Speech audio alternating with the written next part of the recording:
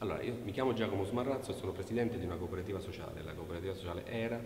che eh, sta mh, lavorando da tempo nei servizi eh, pubblici dell'ASL Napoli 1, occupandosi di fragilità e di persone che hanno difficoltà, a, a, che comunque si sono, sono, impattate in difficoltà che siano di carattere eh, sanitario, nello specifico della salute eh, mentale, ma anche di persone che hanno avuto problemi o che si trovano in, in,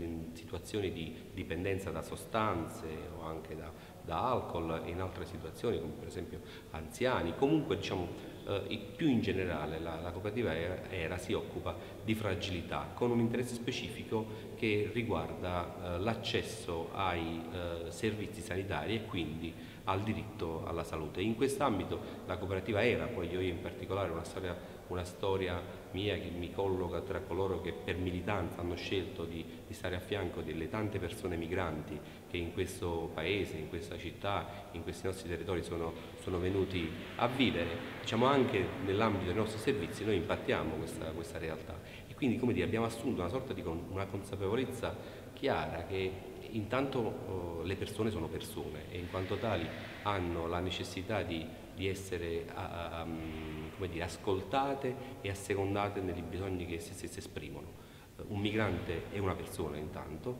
e non è semplicemente un'etichetta, un, un, un, colore della pelle o un, un, problema, ma è una persona come tante altre che ha bisogno di assistenza sanitaria, ha, ha probabilmente necessità di, di, di eh, di accedere a servizi del lavoro, ha bisogno di, di accedere a servizi scolastici, a, di imparare la lingua e cioè ha bisogno di essere incluso in questa società che di fatto, di fatto per scelte economiche, per scelte di governo più generali, ha continuato ad escludere, ad escludere e non è riuscita mai a creare barriere perché le barriere non si possono creare. E quindi eh, da questo punto di vista ehm, noi puntiamo ad avere un approccio di questa, di questa, natura che è multi, multidisciplinare e che, e che, affronta le problematiche delle persone più fragili che vivono la, la nostra comunità.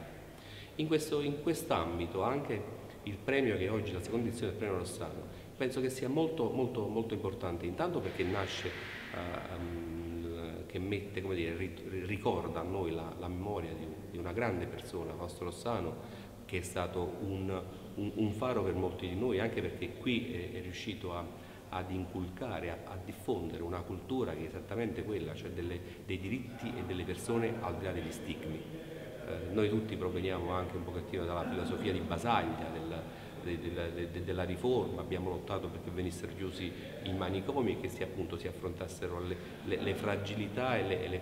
problematicità per quelle che sono, non recludendo, recludendo le persone, non reprimendole, ma confrontandosi con,